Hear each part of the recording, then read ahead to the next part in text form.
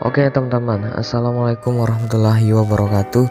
Jadi hari ini kita bakal uh, ngebahas gimana cara menaikkan resolusi foto atau mengubah foto buram burik menjadi HD resolution. Nah dan aplikasi yang kita bakal gunakan di sini adalah aplikasi Remini. Dan aplikasi uh, yang gua share di video kali ini adalah uh, versi terbaiknya dari sekian banyaknya versi karena Remini ini mirip-mirip dengan aplikasi Infinite Design. Punya banyak versi dengan bug yang berbeda-beda tapi uh, yang gue share kali ini adalah versi terbaiknya tanpa bug ya. Dan kalau kalian mau aplikasi ini kalian cukup tonton videonya sampai habis karena kode aplikasinya bakal gue taruh di dalam video ini ya.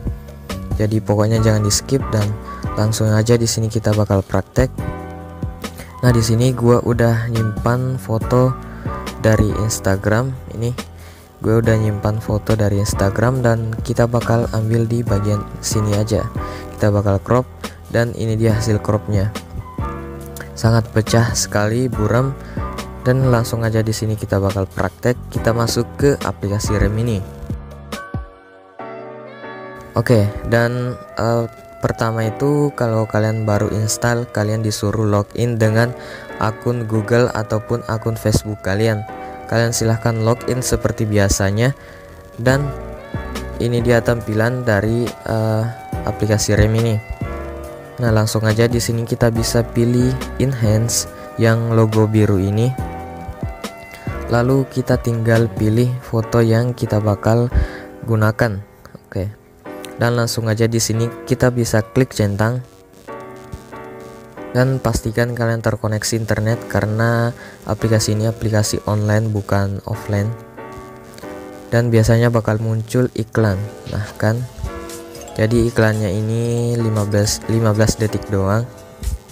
Gak apa-apa kita nunggu sebentar.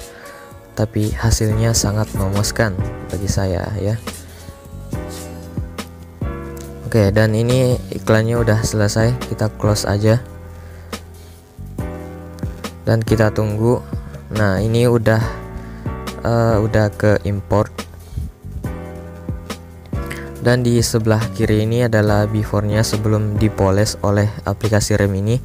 Dan di sebelah kanannya setelah dipoles pakai rem ini. Dan kita bakal geser perlahan-lahan. Nah ini. Nah kelihatan kan bedanya Oke. Seperti ini hasilnya kalau udah diproses oleh rem ini. Nah, dan kode aplikasinya adalah ini.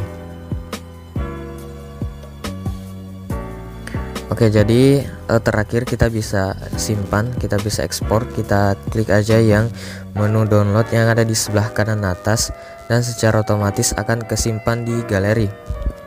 Oke, dan mungkin itu aja yang gua dapat share di video kali ini hari ini. Dan kita ketemu lagi di next video and goodbye